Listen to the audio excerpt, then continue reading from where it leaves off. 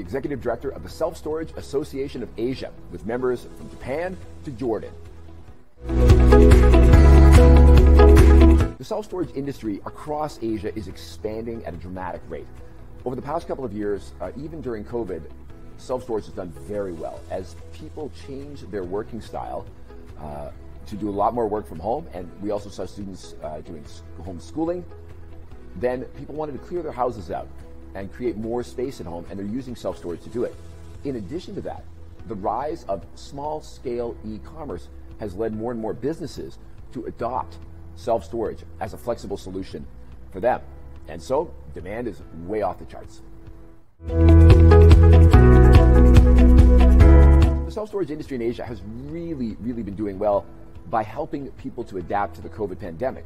However, as the COVID pandemic restrictions are lowered in many countries, things are going to go back to a more normal pre COVID uh, type of activity. The one thing that will persist is e commerce as a driver of the industry. And second, uh, more people are using self storage now and are making it a part of their daily lives. And COVID may have driven them to self storage in the first place, but now that they're used to it, they really like it. And so that's helping drive demand.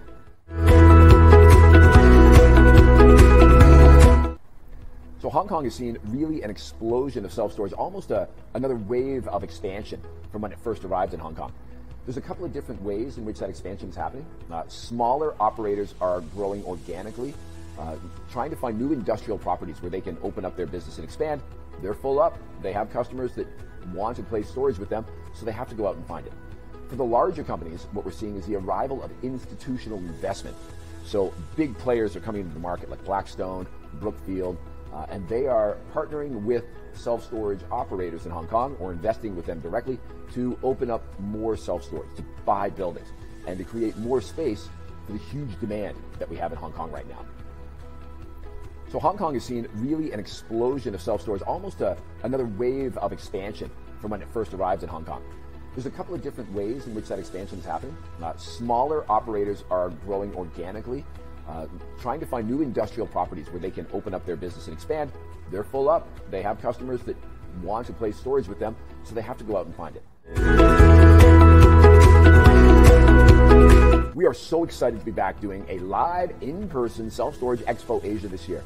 Obviously, like many events, we had to hold off for a couple of years during COVID, but we are bringing it to Singapore in November, uh, November 14th, 15th, and 16th. We are going to have site tours, including our first ever valet storage site tour. We're going to see robotics. We're going to see artificial intelligence uh, and how it is used in self-storage. We're going to be bringing the latest and greatest technologies to self-storage operators that they can, you know, use to improve their businesses and excite their customers. We're going to be introducing the Safe Singapore program at this event.